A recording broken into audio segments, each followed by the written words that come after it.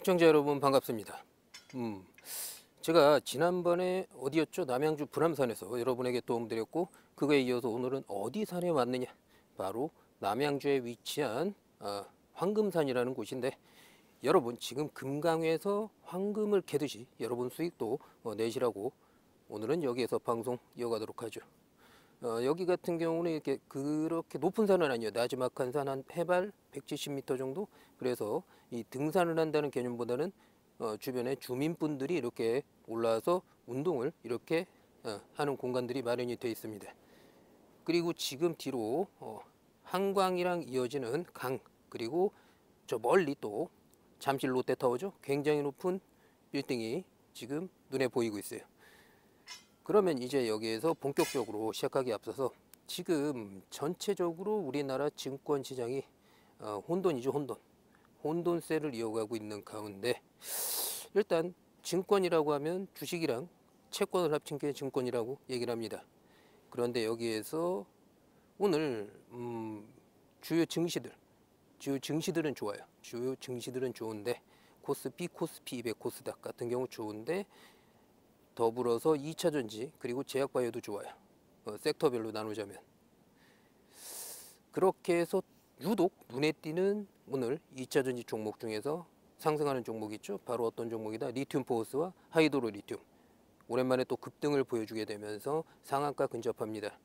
그런데 왜 이렇게 올라갔느냐? 아, 바로 이것 또한 지금 왜 이걸 먼저 설명하는지는 제 방송 끝까지 들으시면 아실 수 있고요. 하이드로 리튬 그리고 리튬 포스를 운영하고 있는 리튬 플러스, 리튬 플러스의 대표죠 전웅 박사가 어, 볼리비아입니다. 볼리비아의 지금 리튬 공급 어, 1단계 통과했다. 그렇기 때문에 지금 주가가 급등을 하고요. 그런데 중요한 건 이 전웅 박사가 어디 출신이죠?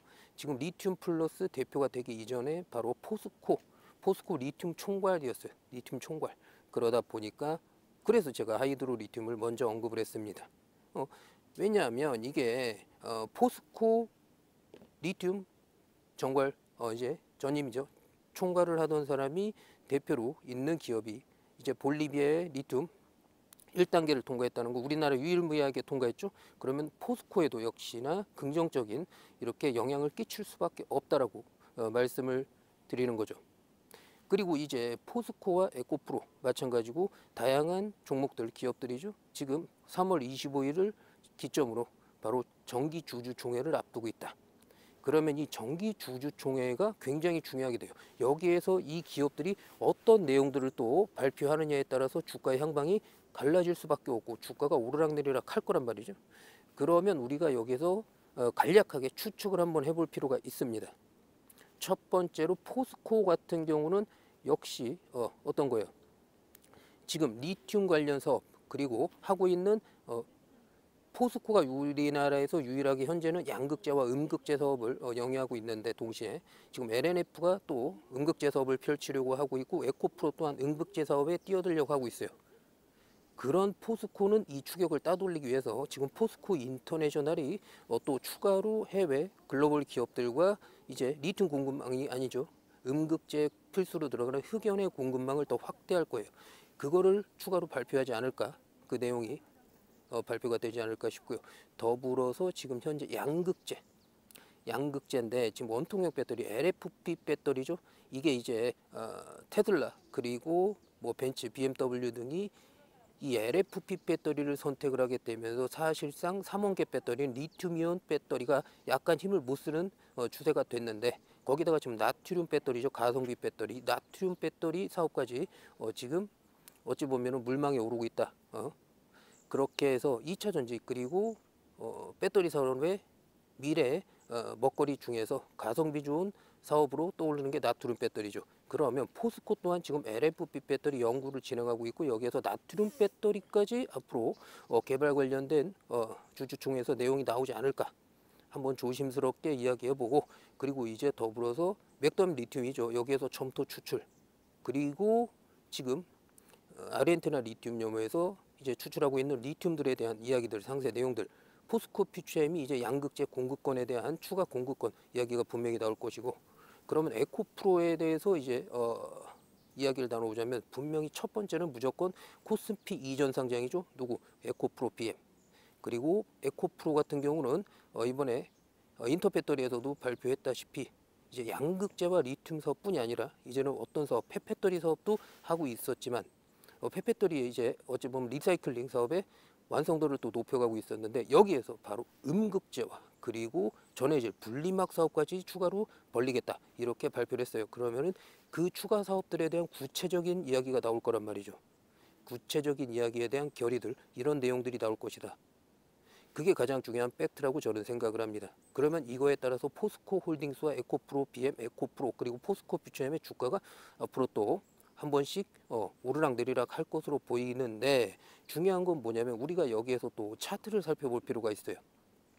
현재 분봉으로 살펴보게 되면 에코프로와 포스코홀딩스 비교해 보면 포스코홀딩스는 지금 어 40만 원대 바닥에서 어 박스권을 벗어나질 못하고 있죠.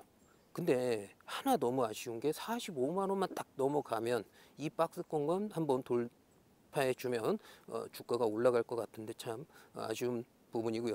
그리고 이제 에코프로 같은 경우는 분봉을 살펴보게 돼도 바닥을 찍고 쭉 하고 올라가고 있는 상승 추세선을 탔어요. 상승 곡선을 지금 진입을 했다. 그러면 포스코홀딩스는 이 45만 원만 돌파하면 이렇게 어, 상승 5파동, 하락 3파동이 이어지는 엘리어트 파동 이론에 어, 입각해서 주가가 눌림목 구간이 여러 번 그려지긴 하지만 결국은 어, 이제 50만 원, 60만 원도 돌파할 수 있는 그런 구간에 이게 진입할 것 같은데 요 최근에 가장 그 비슷한 모습을 보여주고 있는 횡보를 보여주고 있는 종목이 어디죠? 바로 HLB죠. HLB가 일정한 패턴을 상승 5파동, 하락 3파동, 눌림목 구간을 그려주면서 결국 10만 원을 돌파했어요. 주가가 불과 1월 24일이었네, 26일 날 그때 주가가 4만 원대였다. 그런 주가가 지금 10만 원을 돌파했어요. 10만 원. 어? 그렇기 때문에 두 달도 안 됐죠. 이런 그림을 그려주 한 번만 그려주게 되면 은 45만만 한 번만 돌파해주면 가능하다는 거죠. 그런데 에코프로는 어느 정도 돌파를 했죠. 에코프로 BM 또한 30만 원을 눈앞에 두고 있고 돌파를 에코프로는 60만 원 돌파했단 말이에요. 그래서 분봉을 살펴보게 돼도 이제 에코프로는 상승 추세선을 탔고 지금 근데 포스코홀딩스는 아직 바닥권에 있습니다. 그래서 이번에 정기 주주총회에서 어떤 상황이 밝혀지냐에 따라서 어떤 내용들의 이야기가 나오느냐에 따라서 포스코홀딩스의 45만 원 주가 돌파가 가장 어, 지금 맥점이라고 보시면 되겠습니다. 그런데 여기서 중요한 거는 왜 주가가 45만 원을 돌파하지 못하고 있나 그 이유를 알아야 돼요. 여기서 수급을 살펴볼 필요가 있어요. 수급을 살펴보시게 되면 분명히 연기금이 들어오고 있어요. 연기금은 들어오고 있다. 연기금은 계속 매집을 합니다. 수급에서. 그런데 상대적으로 보면 외인들은 이탈을 하고 있어요. 꾸준히. 그것은 무엇을 의미하느냐? 외인들의 꾸준한 이탈은 세력들이 지금 수익을 못 내고 하락 배팅해서 결국 버티다 버티다 이탈을 한다 그 얘기예요. 그러니까 연기금이 매집을 해도 주가가 그 이 보합세를 꾸준히 계속 유지하는 거예요. 오르락 내리락 큰 변동이 없다는 거죠. 그러면 연기금이 왜 계속 매집을 하느냐? 연기금이 매집을 했을 때 그 시기상 어, 날짜를 살펴보게 되면 연기금은 항상 포스코홀딩스가 이제 40만 원 초반대를 찍었을 때마다 매집을 했어요. 그래서 지금도 매집을 하고 있어요. 그래서 연기금이 생각하는 지금 포스코홀딩스의 투자 전략은 중장기적 투자다.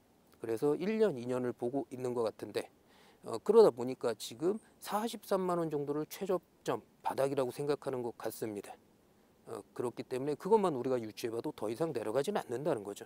이게 연기금의 어, 지금 수급이 단순하게 주가가 올라간다 내려간다가 아니라 어, 바닥을 연기금이 어느 선으로 잡았다라는 거 우리가 유추할 수 있다는 거죠. 그게 가장 중요한 내용이고 이러므로 인해서 결국은 이제 정리를 한번 해보자면 이번에 정기 주주총회에서 에코프로와 포스코홀딩스가 어떤 내용을 발표하느냐에 따라서 앞으로 주가 향방이 갈라진다.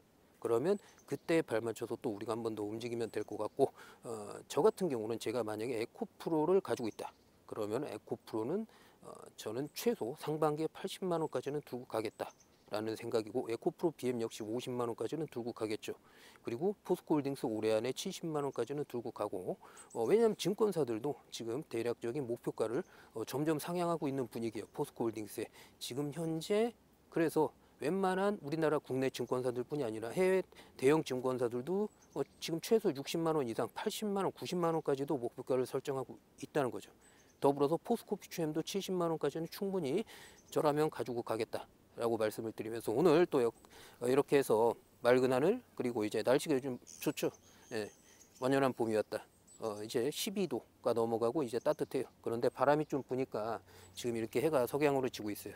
그래서 오늘은 어, 여기까지 여러분에게 도움 드리고 이제 에코프로와 포스콜딩스 그룹주들에 대해서 다음에 또 새로운 내용이 생기면 그때 다시 또 도움 드리겠습니다. 그때는 뭐 역시나 뭐 이렇게 좋은 산이나 어, 바닷가 관광지에서 왜냐하면 여러분에게 도움도 드리고 이렇게 음, 좋은 경관도 보여드리면서 아니 책상 옆에서만 하면 딱딱하잖아요, 그렇죠? 물론 이렇게 차트도 설명 그 그리면서 설명하고 하면 좋은데 어, 이 화면에는 그래도 중요한 내용은 제가 이렇게 추가해서 편집할 테니까 다음에는 더 좋은 내용으로 찾아뵙겠습니다. 감사합니다.